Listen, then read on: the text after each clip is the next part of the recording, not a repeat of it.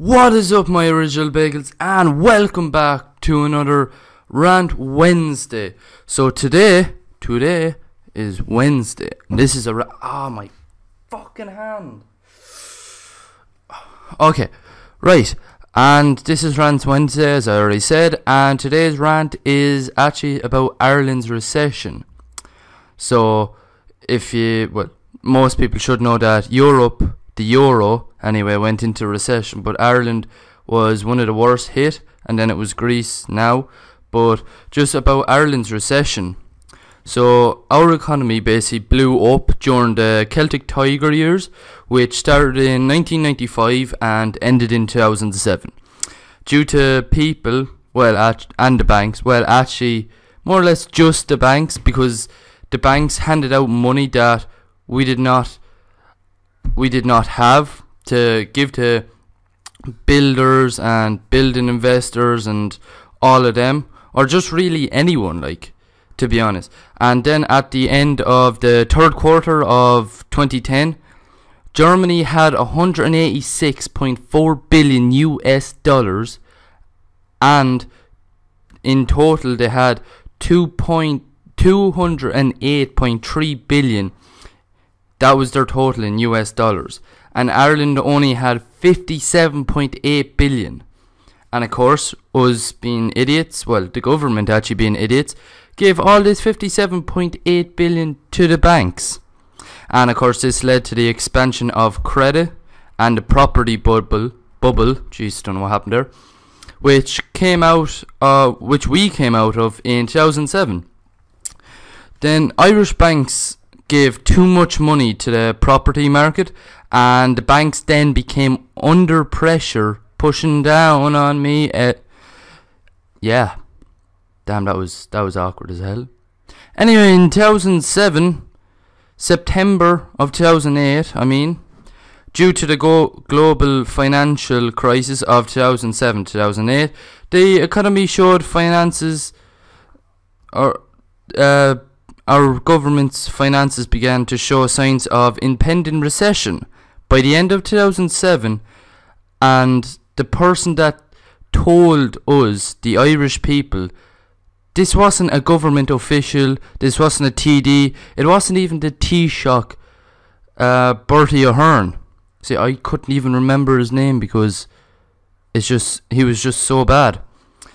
No it was actually Eddie Hobbs and Eddie Hobbs just I think he's a financial person. I'm, well, actually, I'm full sure that he's a financial person. And once we went into recession, there was no sign of him. So why did Eddie Hobbs tell us that we were going into recession and not try and help us? Like that's I don't get that. And yeah, I know not many people are going to probably watch this, but does that mean Eddie Hobbs is a coward? Because he told us knew this was going to happen and probably up and left. That's what I think he did. But anyway, getting back on track, in 2004 2008, the bank's borrowing went from 15 billion, it's, it's still a lot, 15 billion now in all fairness, to 110 billion. Most of this was borrowed on a three month rollover basis to fund building projects. To fund building projects.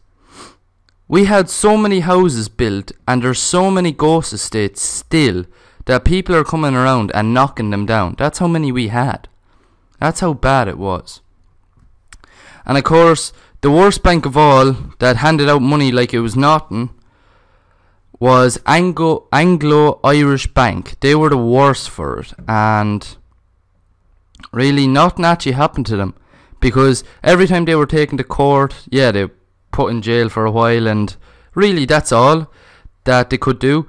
They didn't really repossess anything because everything was put in the wives' names. So why not just take anything? Why not take everything away? The house, the cars, everything that they owned. Eat fuck it if it was if it was owned by the wives. Take that as well. Feck them. They, they don't they do not deserve to have everything they have now, and they still have it. And we suffer for something the banks did. Why should we suffer? And these scumbags, all they were put in jail. And of course, we should have repossessed everything and then sold the stuff on.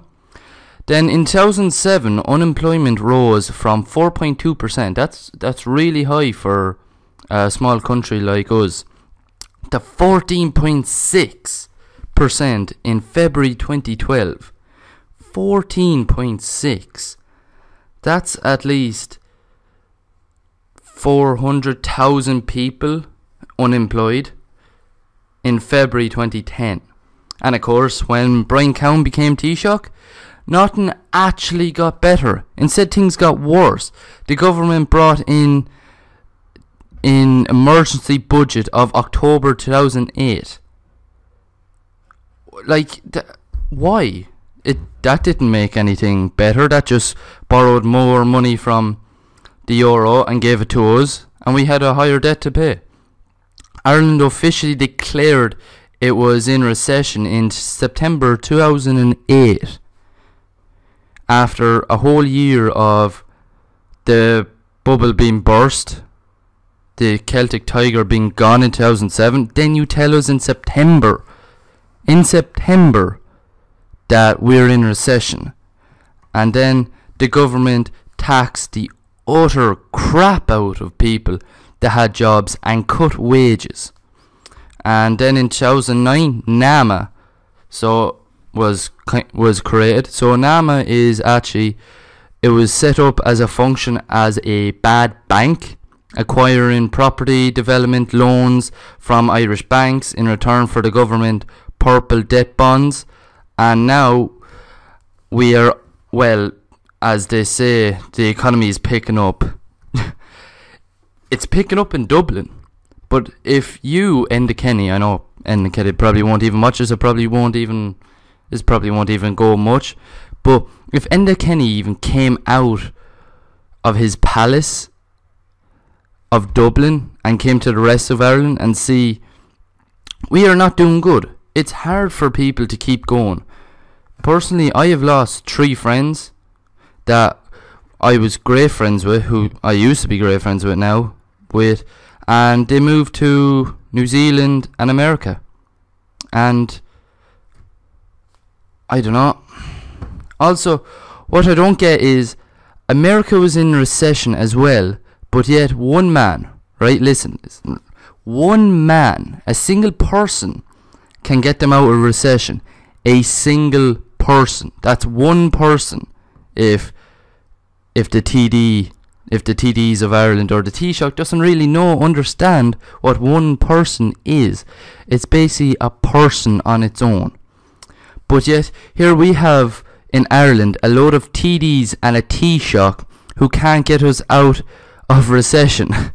and I find it funny how a bunch of old, dumb fools that most of the time don't even go to the Dáil can't get us out of recession. And there's an old saying that I think is very wrong in Ireland anyway.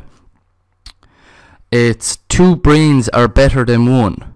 50 brains are better than one basically. Just, uh, there's, I don't know how many are in the Dáil actually, but I'll just, I just said 50 just in case. I'm close to it.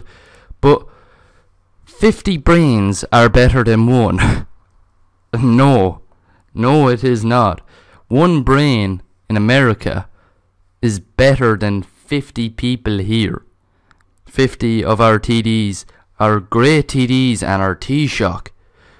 Like, also, if you want to get Ireland out of recession, what you need to do is cut all the TDs and the Taoiseachs massive wages.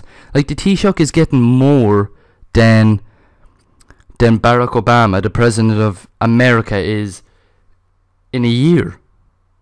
And how how why? Why and how can this happen? And I have a feeling that if you cut all TD and Taoiseach wages, you'll have about over a billion straight away at least. But no, they won't do this because they are little babies. That if they, if this happened, they'd probably go back crying to their mothers. And of course, then there's another thing that TDs and Taoiseachs don't drive themselves to the Dáil. They actually have somebody to drive themselves. You have a license, don't you, people? Then drive. I don't get this. Why do you need another person to drive you there? What are you going to do in the back? Just spread your legs out. Like that would save so much money if we if the government didn't have the TDs and Taoiseach didn't have a person that would drive them around the place. That would save so much. And they should have to live in a normal house, not like a big ass mansion. And then once we get on our feet, then you put the wages up by 5%. And if it keeps getting better to go then you put it up to 10, so on, so on, so on, so on, until it goes up to the normal. And yeah, I know it's not a lot, but it could work. Also, why should we have over 50 TDs and at just one Taoiseach? Or just, why don't we just have the president, or even just have Enda Kenny on his own, the leader, like over in America? Also, do what America did. They printed more money that's what we need to do. That's what they did. And one man got them out of recession. And we can't even get ourselves out of recession. That took two years for them at least to get out of recession. It's taken us what? From 2008, 2007, 2015. Like, how? That's that's just that's a it's so dumb how it could take us nine years to get out of recession. Um, and like we're still in it though. So it's not it's gonna take more years. I can predict until I'm about twenty, in three years, we'll still not be out of it. We will not be out of it because our government are, is so dumb. It's just so dumb it's not right. Also, we stopped well, the Irish Coast Guard, police, whatever you want to call them, stopped 160 million worth of drugs. 160 million. Right, just let that soak in. 160 million worth of drugs. 160 million euro. Why would we keep this? Why would we store it up and keep it? Why wouldn't we just sell it on to the highest bidder? And you're probably asking, why do I say this? Well, this may be stupid and it's hell legal, but that would be 160 million into our economy. So what if some crackhead, high, big ass drug dealer or Mexican cartel buys it? Whatever. Whatever way we can do to get money. And that's how I think we be able to get out of the recession anyway. And if you were to say we are out of recession, then you are either a rich, a rich person, or you live in Dublin. Because outside of Dublin and the rich people, we are not good. And Enda Kenny does not know about this because he is too stuck up to come out of his little palace of Dublin. Of course, uh, most of the TDs are as well. To come out and actually see and live. They they should have to live for about three months like us, and then you will see how bad it is. But yeah, I know I'm kind of rambling on now, guys. I hope you like, favorite, and subscribe. This is actually a rant. I know I kind of went off, but if you can share this or show somebody this at least that's in the government or something, that wouldn't probably wouldn't actually help to be honest when I think about. It. But Anyway, that is it guys. I hope you like, favorite, and subscribe, and peace.